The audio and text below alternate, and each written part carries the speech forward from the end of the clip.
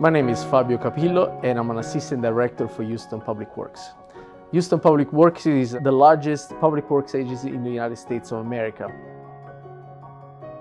We are composed of about 4,000 employees.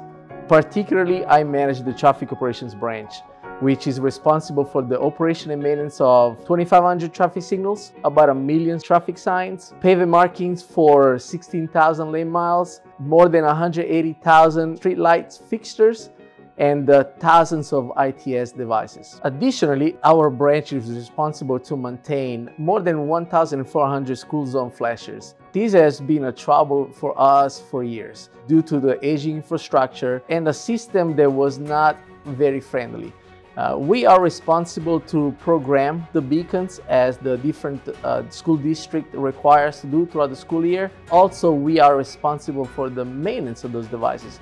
We had no system in place to make this an efficient and effective program. Everything was done manually and you can imagine how many staff hours take to visit each of those 1400 locations. The maintenance also was reactive.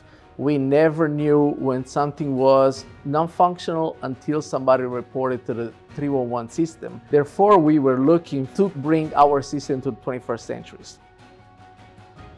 The City of Houston followed an RFP process to acquire the, the, services of a new system, and AI was selected as the successful proposer. There were several uh, things that AI was able to meet. The ability to meet the requirements of the RFP, a long history of proven uh, deployment of this type of technology throughout the nation, the ability to address current needs and future needs and also the ability to integrate with the existing infrastructure without costing us more money to change other components that were not needed.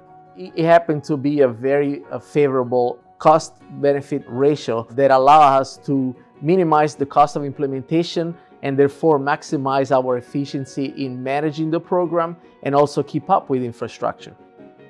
The remote school beacon monitoring system provided by AI was able to provide a solution that integrated to the current school zone beacon infrastructure and provide a reliable and cost-effective communication method. The solution has been easy to integrate to the existing infrastructure and allowed us for accurate means to monitor and program the school beacons flashers within the objective to facilitate operation and maintenance activities. The central software glance is incredibly user-friendly, allowed for easy understanding of all features and provide uh, quick access to vital information, both for the engineering side for programming and the maintenance folks that are responsible to maintenance.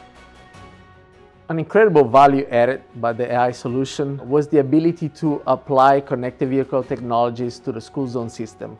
That was done through a Travel Safely app which allows the connected pedestrian with vehicles. Through the app, a driver is warned if a pedestrian is within the school zone that would allow to increase the level of awareness of the driver. Vice versa, even the pedestrian can be warned of vehicles entering the school zone. Everything that we can do to increase the level of awareness will result in increasing safe school zone for everybody.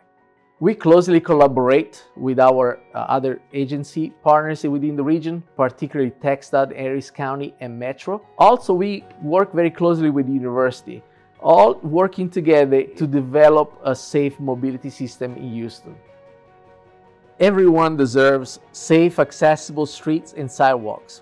That's why on August 13, 2019, Mayor Sylvester Turner signed the Vision Zero executive order, committing to end traffic deaths and serious injuries on Houston streets by 2030. Vision Zero Houston prioritizes safety and accessibility in street design for people of all ages and abilities.